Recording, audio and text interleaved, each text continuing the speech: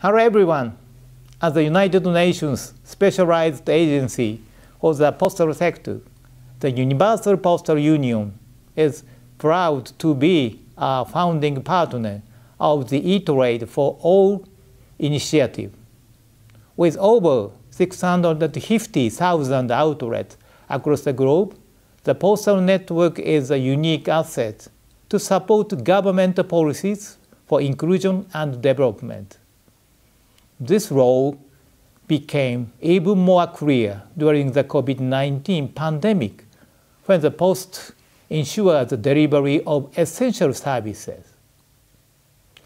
Whether in cross-border e-commerce, last mile delivery, digital payments, national marketplace, or trade facilitation, the postal network is critical to implementing the e-trade for all goals and the 2030 Sustainable Development Agenda.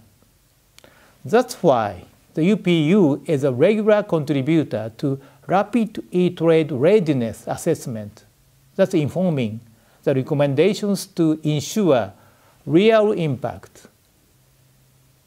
According to UPU research, posts are diversifying into the digital services, facilitating e-payments, e-commerce, e-logistics, e-government, and e-health. They are embracing mobile, blockchain, artificial intelligence, and other Industry 4.0 technologies. But more needs to be done.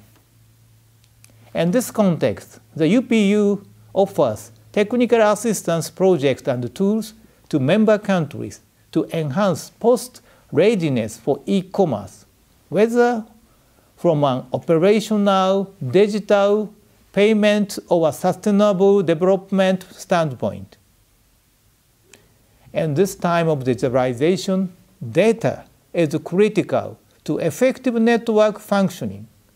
Posts are key facilitator of data capture and sharing in the supply chain the UPU is working to enhance this exchange, especially with increasing border controls and compliance demands. The UPU Electronic Advanced Data Project focuses on exchanging data across the supply chain. The UPU Mobile Customs Data Capture Solution helps Post to enhance data capture at the source.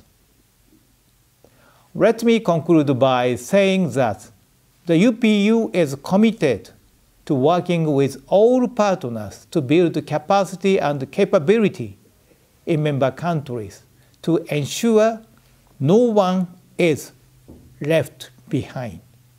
Thank you very much for your kind attention.